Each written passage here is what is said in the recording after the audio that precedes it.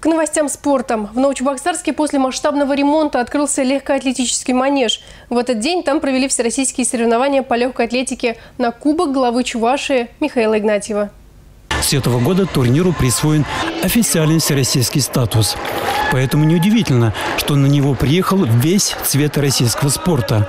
Президент Всероссийской Федерации легкой атлетики, советник президента России Валентин Балахничев, вице-президент Паралимпийского комитета России Лев Селезнев, ведущие атлеты России, победители и призеры Олимпийских игр, чемпионатов мира и Европы. Среди них олимпийская чемпионка в беге на 3000 метров с препятствиями Юлия Зарипова, олимпийский чемпион в беге на 800 метров Юрий Барзаковский, бронзовый призер Олимпийских игр в беге на 800 метров Екатерина Поистогова, участник Олимпийских игр Елизавета Савленец и чувашские олимпийцы Елена Наговицына, Кристина Савицкая, Сергей Иванов.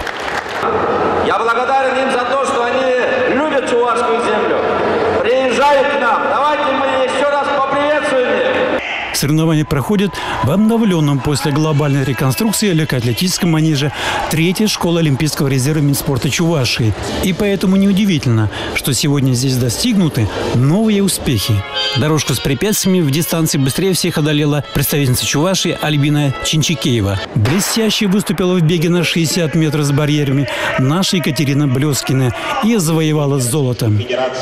Манеж супер, мне очень нравится, очень быстрая дорожка. Мне этот манеж даже напоминает э, ЦСКА в, в Москве. Как бы там все время проводят чемпионат России. Может быть, все-таки получится здесь провести чемпионат? Глава республики выразил уверенность, что средства, вложенные в реконструкцию спортивного объекта, пойдут во благо жителя республики. По оценке Всероссийской Федерации по легкой атлетике Валентина Балахничева, который является президентом, такой манеж высокого класса имеют 17 регионов Российской Федерации. Конечно, это мечта наших олимпийских чемпионок была, чемпионов вот этих будущих, я думаю, спортсменов высших достижений, как раз для того сделано, чтобы мы воспитывали мастеров королевы спорта легкой атлетики. С этим подарком надо пользоваться эффективно. И я рассчитываю на молодежь, на юношей и девушек, что они формируют себя как сильные личности, сильные спортсмены, смелые спортсмены, воспитают свой характер в силе духа, бодрости и будут спортсменами высших достижений. Так, нет? Так. Первые победители призеры Кубка, среди которых оказались именитые Екатерина Поистогова и Юрий Барзаковский, получили награды из рук Михаила Игнатьева и Валентина Балахничева. В программе соревнований, кроме беговых видов, толкание ядра, прыжки с шестом, высоту и тройной прыжок.